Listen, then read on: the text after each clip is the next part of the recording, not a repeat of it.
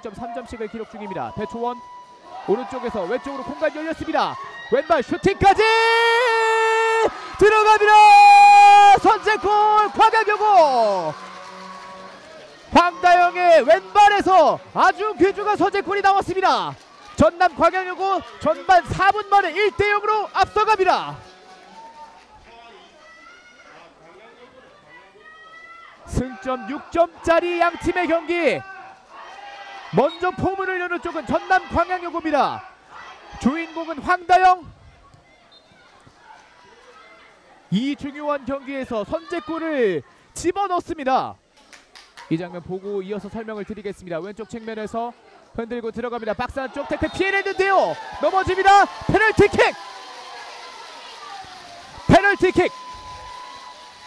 페널티킥이 선언됐습니다. 황다영의 선제골 그리고 이후에 역시 포항여전고 박수정이 있습니다. 박수정이 넘어지고 페널티킥 키커 김신지 달려갑니다. 오른발 들어갑니다. 두 번째 골. 양팀 통틀어서 두 골을 전반전에 주고받습니다. 스코어 1대2 김신지의 페널티킥 동점골. 오늘 경기 결국 1대1 다시 원점을 맞춘 채로 출발합니다. 방향을 완전히 속이면서 김신지가 팀의 동점골을 안겨줍니다. 화력이 오늘 경기의 승패를 가르겠습니다. 오른발로 올려줬습니다. 코너킥 헤더! 역전 포항여전고! 스코어 2대1 포항여전고가 앞서갑니다.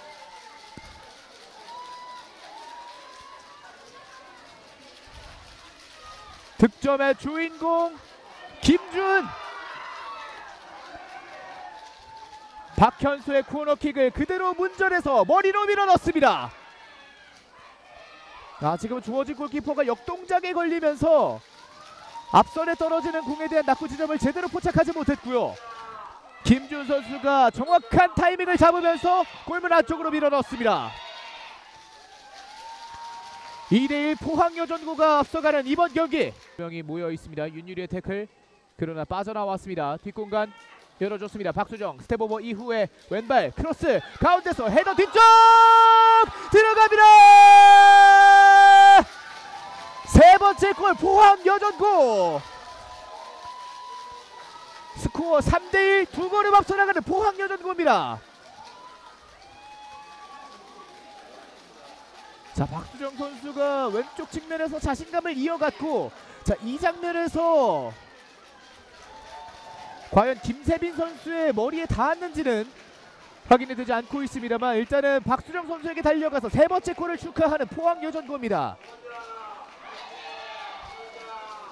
이 득점 이 골문을 바라볼 수 있을지 김신지 바깥발로 내줬습니다. 박스 안쪽에서 박스 안쪽 왼발 크로스 방향타 공 아직 살아있습니다. 집중력을 잃지 않습니다.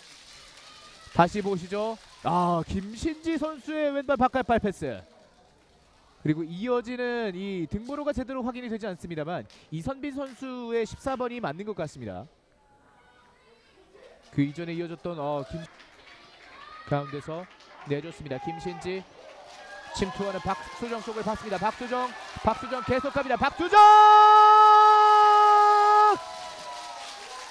네 번째 득점. 박수정의 오른발에서 나왔습니다. 스코어 4대1 확실하게 승기를 가져가는 박수정. 그리고 포항여전고 박수정 선수가 왼발로 찰듯하면서 오른발로 마무리. 주어진 골키퍼를 완전히 속여내면서 두 번째 득점을 기록합니다. 이렇게 되면 대회 일곱 번째 득점을 기록하게 되는 박수정. 스코어는 4대1이 됐습니다. 왼쪽에서 코너킥 올라갔습니다. 낮은 지역에서 뒤쪽 흘렀고 아직까지 공 살아 있습니다. 우당탕탕 골문 앞쪽에서 왼발 들어갑니다. 다섯 번째 득점을 기록합니다. 포항 여전고 아 이현정 선수가 끝까지 이 공에 대한 집중력을 잃지 않으면서 골문 반대편으로 결국 이 공을 굴려 넣는군요.